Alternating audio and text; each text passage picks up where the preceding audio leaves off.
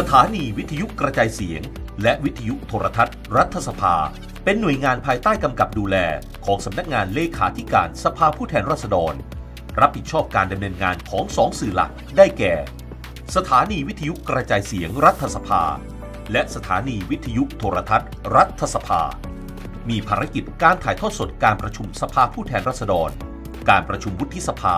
และการประชุมร่วมกันของรัฐสภา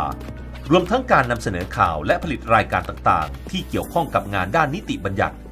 อันเป็นการส่งเสริมและให้ความรู้แก่ประชาชน ในด้านการเมืองการปกครอง ในระบอบประชาธิปไตย รวมถึงสาระความรู้อันเป็นประโยชน์สาธารณะ สถานีวิทยุกระจายเสียง รัฐสภา ได้ดำเนินงานตามวัตถุประสงค์หลัก มุ่งส่งเสริมความรู้ด้านการเมืองการปกครอง ในระบอบประชาธิปไตย อันมีพระมหากษัตริย์ทรงเป็นประมุข ทั้งการผลิตรายการที่เปิดโอกาสให้ประชาชน ได้มีส่วนร่วมแสดงความคิดเห็น และเป็นสื่อกลางของฝ่ายนิติบัญญัติและประชาชน สถานีวิทยุโทรทัศน์รัฐสภาทีทีทีวีช่อง 10 จากโทรทัศน์รัฐสภาผ่านดาวเทียม เมื่อปี 2549 และช่องทางการรับชมทางอินเทอร์เน็ต สู่การทดลองแพร่ภาพออกอากาศในระบบดิจิทัล ในปี 2557 และในปี 2558 สำนักงานเลขาธิการสภาผู้แทนราษฎร ให้ใช้คลื่นความถี่โทรทัศน์ภาคพื้นดิน ในระบบดิจิทัลบริการสาธารณะ ประเภทที่ 3 เมื่อวันที่ 29 มิถุนายน 2558 ลำดับหมายเลขให้บริการหมายเลข 10 หรือช่อง 10 โดยมีวัตถุประสงค์หลัก เพื่อเผยแพร่ข่าวสาร เพื่อประโยชน์สาธารณะ และส่งเสริมความเข้าใจอันดี ระหว่างรัฐบาลและประชาชน และรัฐสภากับประชาชน ในปัจจุบันสื่อรัฐสภา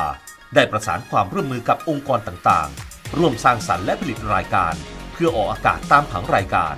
สถานีวิทยุโทรทัศน์รัฐสภา ยังให้ความสำคัญและมุ่งส่งเสริมและคุ้มครองสิทธิคนพิการ ในการเข้าถึงรับรู้และใช้ประโยชน์จากรายการโทรทัศน์ โดยจัดทำบริการล่ามภาษามือ ในการถ่ายทอดสดการประชุมทุกนัด สถานีจะทำบริการเสียงบรรยายภาพ Audio Description AD และคำบรรยายแทนเสียง Closed Caption CC ในรายการสารประโยชน์ของสถานี และปฏิบัติภายใต้หลักเกณฑ์ตามประกาศของ กสทช อีกความภูมิใจของสถานีวิทยุโทรทัศน์รัฐสภาคือ รางวัลจากองค์กรต่างๆ ที่เป็นบทพิสูจน์คุณภาพของบุคลากร และคุณภาพของรายการที่ออกอากาศทางสถานีวิทยุกระจายเสียง และวิทยุโทรทัศน์รัฐสภา ปี 2565 สถานีวิทยุกระจายเสียง และวิทยุโทรทัศน์รัฐสภา ได้รับโล่ประกาศเกียรติคุณสำหรับสถานีโทรทัศน์ที่ส่งเสริมการเข้าถึงบริการสำหรับคนพิการตามประกาศของ กสทช ปี 2564 รายการสุขนคร ได้รับรางวัลสื่อมวลชนดีเด่น ประเภทรายการโทรทัศน์ จากสื่อมวลชนคาทอลิกประเทศไทย ปี 2561 รายการสร้างศิลป์ได้รับรางวัล โทรทัศน์สีขาว ประเภทรายการส่งเสริมศิลปะวัฒนธรรมดีเด่น จัดโดยมูลนิธิจำนงรังสีกุล เพื่อส่งเสริม และสนับสนุนบุคลากรด้านกิจการโทรทัศน์ในระบบดิจิทัล ปี 2561 รายการสุขนคร ได้รับรางวัลสื่อมวลชนดีเด่น ประเภทรายการโทรทัศน์ จากสื่อมวลชนคาทอลิกประเทศไทย ปี 2561 รายการปิดทองหลังพระ ได้รับรางวัลประชาบดี ประเภทสื่อที่นำเสนอกิจกรรมที่เป็นประโยชน์แก่ผู้อยู่ในสภาวะยากลำบาก จัดโดยกระทรวงการพัฒนาสังคม และความมั่นคงของมนุษย์ ปัจจุบัน สถานีวิทยุกระจายเสียง และวิทยุโทรทัศน์รัฐสภา พัฒนาช่องทางบริการรูปแบบออนไลน์ขึ้นอีกหนึ่งช่องทาง บริการภาพและเสียง ผ่านโครงข่ายอินเทอร์เน็ต OTT Over the Top ดิจิทัลแพลตฟอร์มแอปพลิเคชัน TP Channel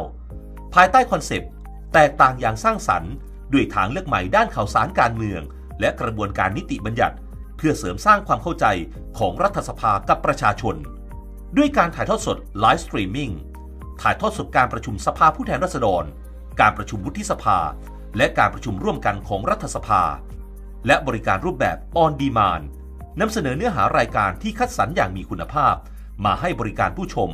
เพื่อตอบสนองความสนใจที่แตกต่างหลากหลาย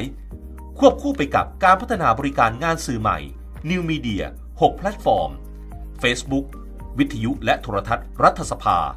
Instagram TP Channel 10 YouTube TP Channel Twitter TP Channel 10 Line Official at TP Channel TikTok at TP Channel Official สถานีวิทยุกระจายเสียง และวิทยุโทรทัศน์รัฐสภา TP Channel ยืนหยัดทำหน้าที่สื่อสาธารณะเพื่อประชาชน มุ่งสร้างความเข้าใจอันดีระหว่างรัฐสภากับประชาชน ทั้งเผยแพร่ข้อมูลข่าวสารและรายการที่น่าสนใจ ด้วยเทคโนโลยีที่ทันสมัยเข้าถึงผู้ชมผู้ฟังอย่างกว้างขวางต่อไป TP Channel สื่อรัฐสภาเพื่อประชาชน